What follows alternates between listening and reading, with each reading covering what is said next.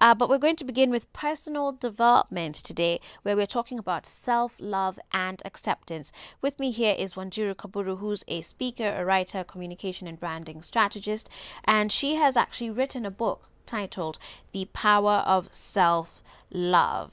Um, karibu sana to the show, Wanjiru. Good to have you here. Thank you for having me. Tell me about this book that you've written. What was the premise behind it? Okay, this book is, as it states, the power of self love. But there is a phrase on it that is really the message here that behind every successful person is themselves. Hmm.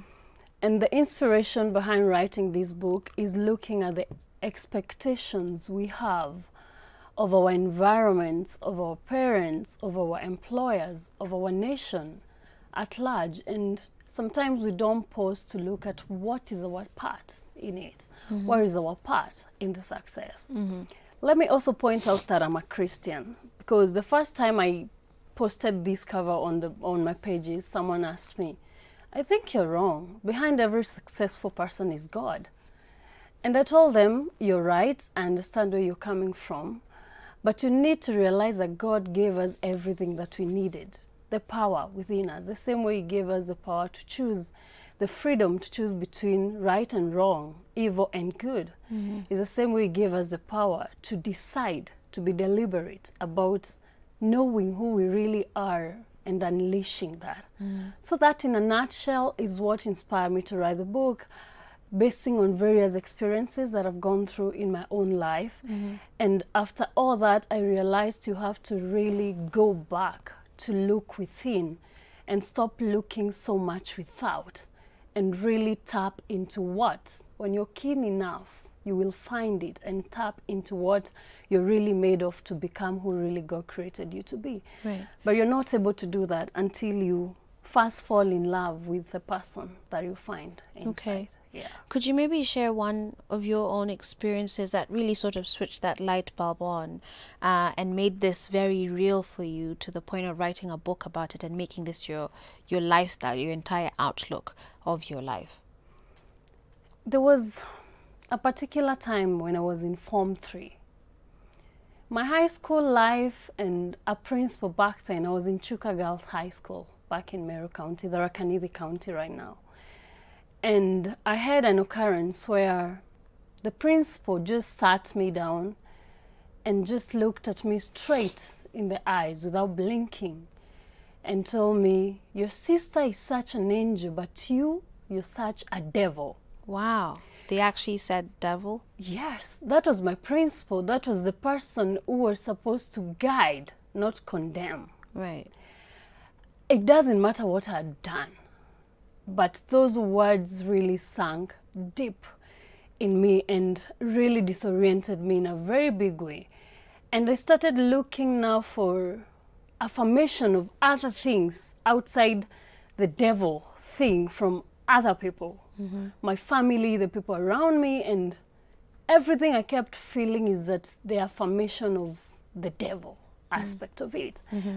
And being a teenager, very fragile age, and you don't have this kind of support system, it start getting into you and you start asking very pertinent and serious questions. And self doubt, very deep self doubt of your worth, of who you really are. Are you worthy living? And it is in Form 3 that I first encouraged the thoughts of suicide. Wow. I became suicidal, I attempted suicide, and I think God spoke to me. I like saying that I think God said, No, this is not how your story is mm-hmm. going to be. Mm-hmm. And that voice or picking myself from that, I was never the same again. Okay. I had to become very deliberate Right. in what I tell myself and what God says about me outside what everyone else says about Amazing. me. Amazing. Yeah. So, in your book now, what are these nuggets then that, you know, drawing from your own experience uh, and researching, I guess, extensively about this topic, what are those first steps then towards self love and self care? Let me first say you can't love what you don't know. It is very, very critical and important that you get to know who you really are. And in this book, I've tried putting it in the simplest way possible. Four parts in this. I've talked about knowing yourself, and this goes back to stepping out of all the noise that is around us these days. Social media, the people around us, televisions, programs, all those things, and finding some moments of solitude where you can actually reach within yourself and reach out to God mm. And finding that purpose. Because Joyce, like the way you have that phone with you, the person who made it put in a camera. I like using this example. But it's upon you to find this camera so that you use it for the purpose it was intended. It is not the manufacturer's job. So God made us like that. He put it in us, but now we are left with the job of Okay. finding it so We that you can use it. Okay. So for you to get to that, you first need to get to really know who you are, then love and embrace that which you find while putting on, I say put on your weaknesses as badges. Is that the second one?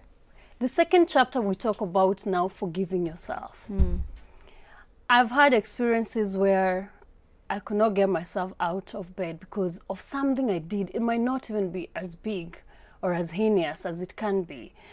But that problem of failing to forgive yourself just makes you stuck in the past and certain experiences that do not really propel you to what you can be. So that's the second chapter of the book.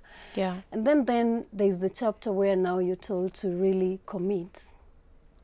You need to learn to commit after finding who you are, loving who you are, then forgiving yourself when you are, then you learn to commit because there's nothing that comes without commitment. Right. So after knowing the passion, the purpose, the person you're really created to become, you need to do the work Okay. of becoming it. And that is why we talk about committing who you are so that you're able now to bless the world Right. with these gifts that you are.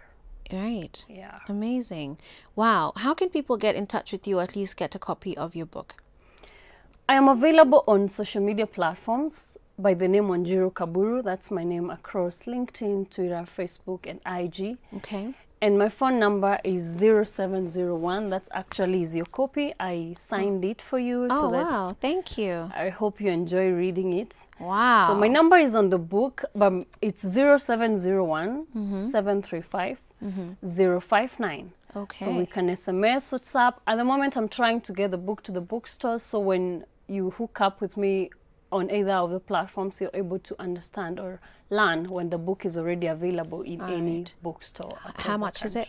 The book goes at 1,000 shillings. 1,000 shillings. Yes. All right. Well, the power of self love behind every successful person is themselves, is the book here by Wanjiru Kaburu. Going only for a thousand bob. You can reach out to her on social media. Thank you very much for coming on to the show and just reminding us how, yes, God is the one, number one, that is behind everything that we do. But even the word says that faith without works is dead. And so at some point, you know, we need to pull up our socks and do our as we trust Him to do His. So thank you very much for that reminder this morning, Wanjiru.